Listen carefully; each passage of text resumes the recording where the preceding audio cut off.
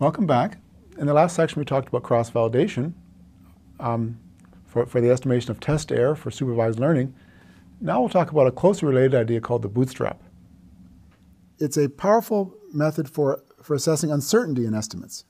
In particular, for getting, getting an idea of standard errors of an estimate and getting confidence limits. Wow, it sounds like a powerful technique, Rob. Are there any good books on the topic? As a matter of fact, no.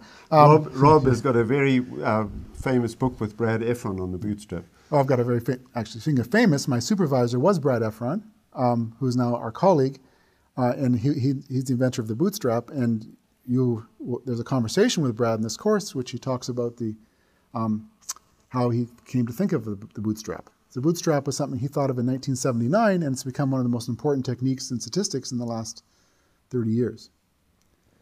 So, where does the name come from? Well, it's the idea of pulling yourself up by your bootstraps, um, which is from a fable by uh, Rudolf Erich Raspe. The Baron, fall, uh, the adventures of Baron Munchausen. Had, the Baron had fallen to the, the bottom of a deep lake and couldn't get out.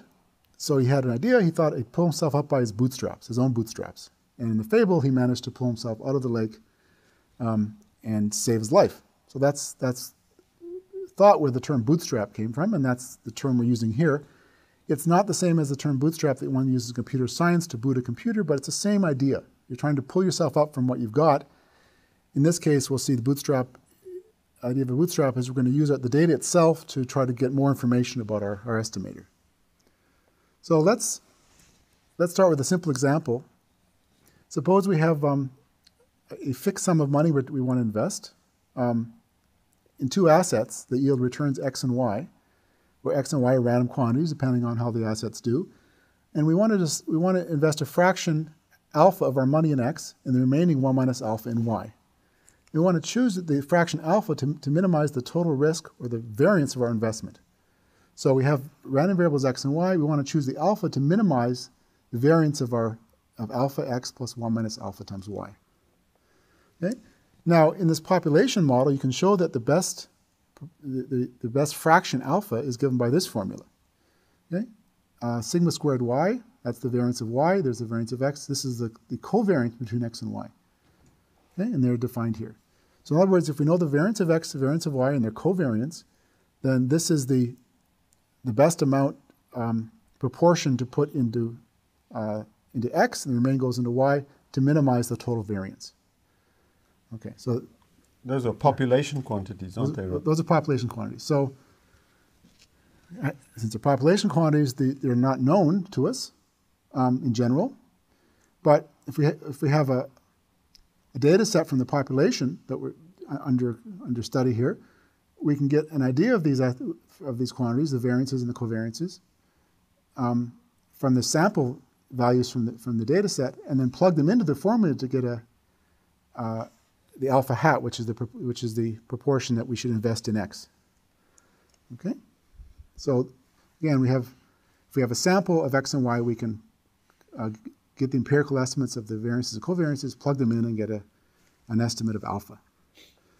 So in this next slide, we see we, we've, we've created a simulated population. We've simulated um, investments X and Y. There's four different simulations here, each one containing 100 pairs of X and Y. And for each one, we take that data, we compute the variances and covariances, and we plug, plug it into the formula to get an, an, an estimate for alpha. And here we see the four estimates of alpha for the four panels, 0.576, et cetera, to 0.651. So they're averaging around 0.6. Okay? So if we want to get an idea of the standard deviation of alpha hat, we can just repeat this process lots of times. Let's say a thousand times. Okay? So We've got a thousand panels like this. Each one gives us a, an alpha hat from the formula on the previous slide. And we do this a thousand times. We take the standard, standard error of those, well, actually let's we do this a thousand times. We'll go to the, look at the histogram in a couple of slides.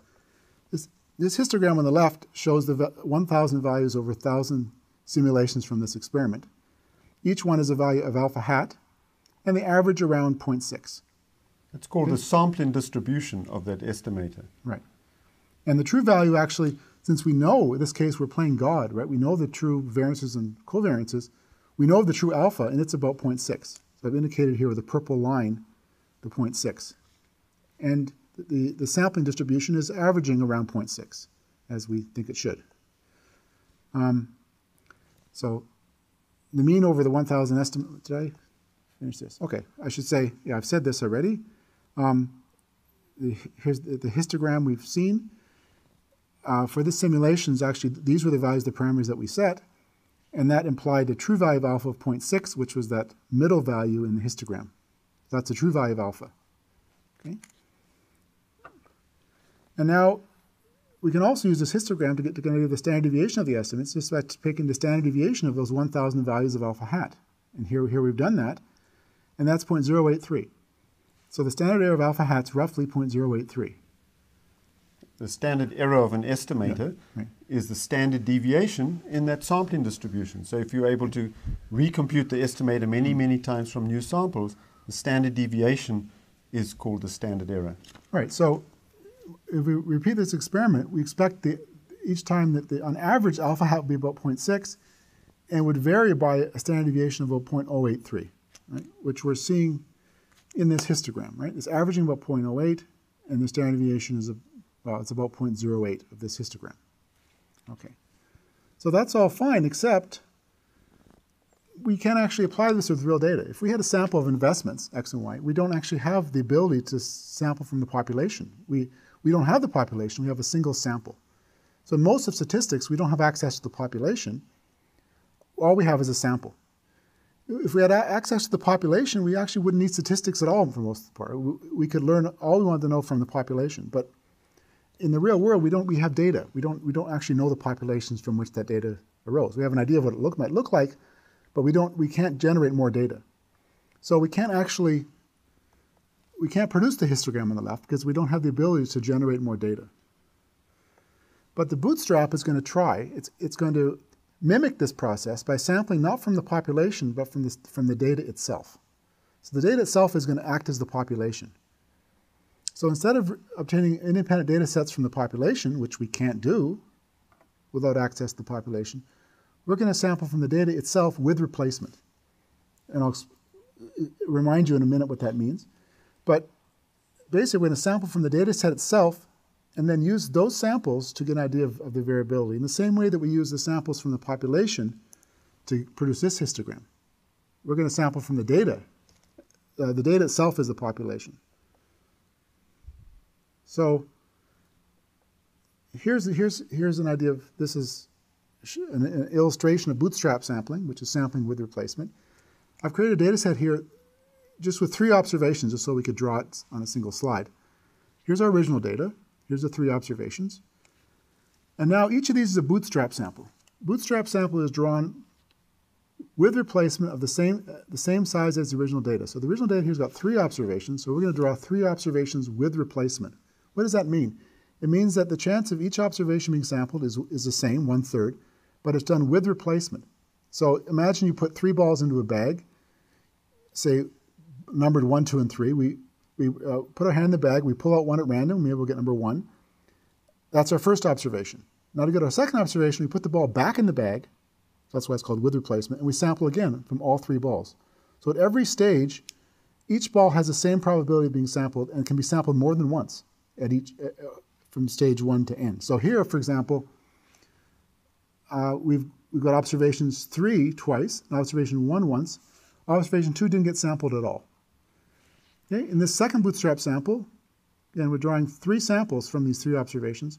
We happen to get two, three, and one. So each observation actually occurred once. In this next sample, we got observation two twice and then observation one.